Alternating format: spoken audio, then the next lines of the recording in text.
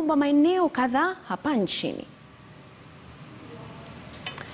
Kwingineko, kipato cha Wakenya wengi kimedodora kimedorora kipindi hiki cha janga la korona, huku familia nyingi zikishindwa kujimudu kulipa kodi za nyumba baada ya runinga KTN News kuangazia taarifa familia moja eneo la Ruai iliyokuwa imeonyesha ukarimu wa hali ya juu kwa kuwahifadhi kina mama waliokuwa wameshindwa kulipa kodi na kuwafurusha. Sasa umepata tabasamu baada ya wahisani wema kujitokeza na kuwapa makazi kina mama hao. Beldin Waliaula na taarifa zaidi. Wiki mbili zilizopita runinga ya KTN iliangazia familia hii ya wahisani wema ya Robert Kilu na mke wake Jacqueline Kanyiri ambao walikuwa wanatafuta msaada wa kuwahifadhi wanawake ambao wameshindwa kulipa kodi.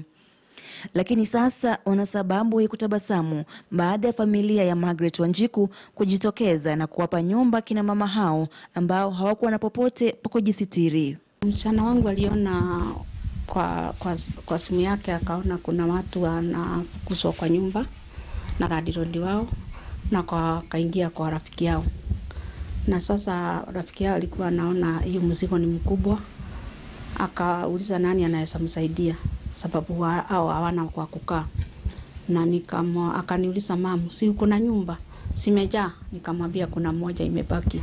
Lakini familia hii ya Robert hata baada ya kuwasaidia wanawake hao bado wanajipata na moyo wa kusaidia, ambapo kwa sasa wanamhifadhi Benedikta Muhula, mama wa watoto wawili, ambaye ameshindwa kulipa kodi yake ya nyumba. Nimekuwa nikifanya tu vibarua za kulima ama kufua, lakini kwa saa hii hata hiyo kufua haipatikani juu wao wenye kupeana vibarua hawataki watu kwao.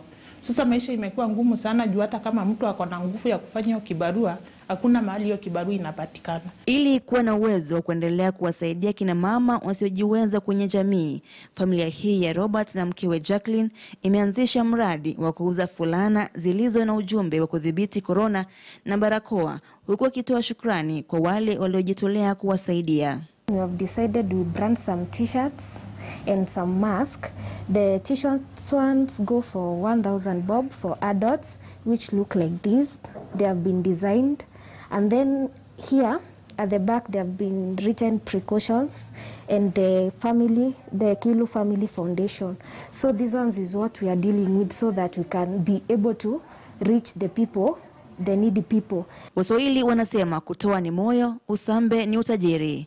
Beldin Walieula, KTN News. Naam, kama alivyosema Beldin